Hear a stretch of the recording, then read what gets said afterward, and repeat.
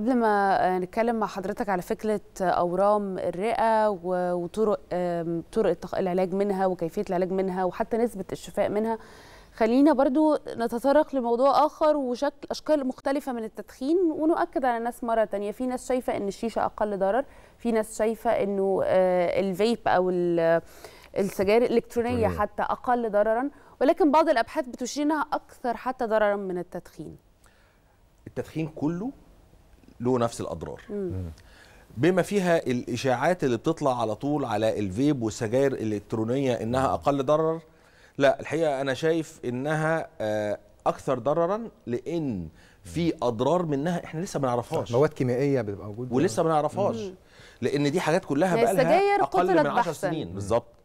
السجاير إحنا عارفين أولها من آخرها. وعارفين أضرارها. واتعامل عليها آلاف الأبحاث صحيح. لكن الحاجات ديت هي فيها نفس الأضرار بتاعت السجاير وفيها حاجات تانية لم تكتشف آه بعد آه فبالتالي الشيشة مم. الفيب السجاير الإلكترونية مم. السجاير العادية مم. ال pipe كل طبعا. دوت ليه نفس الأضرار التبغ المسخن بيقولوا مثلا ممكن التبغ لما يبقى مسخن ده اللي هو منتشر دلوقتي ده برضه ليه ضرر شديد. نفس نفس الأضرار وأضرار شديدة وزي ما بقول في أضرار لم تكتشف بعد وهنكتشفها بعد عدة سنوات. طب لو شخص بيشوفنا ومدخن يبتدي يقلق إمتى؟ يعني يبتدي يزور الطبيب إمتى؟ يعني إحساس إنه في مشكلة في الجهاز التنفسي؟ تنصح المدخنين طبعا النصيحة الأهم إنه يقلع عن التدخين تماما لكن يبتدي يطمن على صحته إزاي؟ ده سؤال في منتهى الأهمية. م. مشكلة سرطان الرئة هو إن دايما بيكتشف متاخرا. يعني مثلا يكون السرطان موجود ويكتشف بعد سنتين ثلاثة من وجوده في الجسم. ليه بقى؟ المدخن كده كده بيكح. تمام؟ من أعراض سرطان الرئة الكحة وتغير الباترن أو شكل الكحة بتاعته.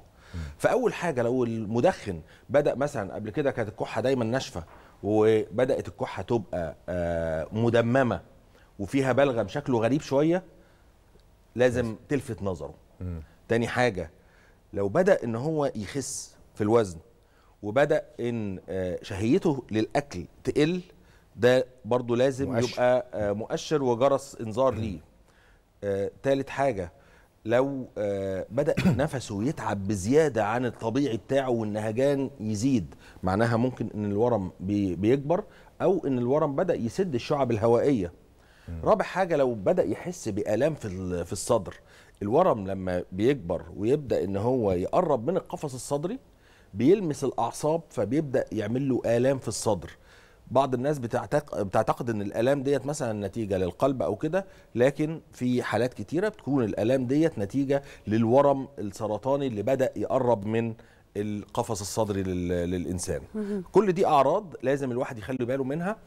وأؤكد مرة تانية إن الأهم بالنسبة للمدخنين اولا تقلع عن التدخين وثانيا لو أنت مدخن لفترة كبيرة وحتى لو بطلت بقالك أكتر من عشر سنوات لكن كنت بتدخن لفترة أكتر من 20 سيجارة في اليوم لمدة 20 سنة أو 40 سيجارة لمدة 10 سنوات لازم كل سنة نعمل مرة واحدة أشعة مقطعية بدون صبغة وده للاطمئنان. زي ما السيدات مثلا بيعملوا ماموجرافي. سنويا بعد سن ال 40 أي حد لازم يعمل الأشعة المقطعية ديت مرة سنويا لو هو مدخن. وعلى فكرة برضو حاجة تانية زيادة التدخين في السيدات الفترة ديت. كلنا بنشوف دلوقتي على الكافيهات وكده السيدات بتشرب شيشة والسيدات اللي بتدخن وهكذا. وبدأت تزيد كثيرا جدا نسبة الأورام اللي بنشوفها وبنعمل لها عمليات بشكل يومي بالنسبة للسيدات. فبرضو ده جرس إنذار.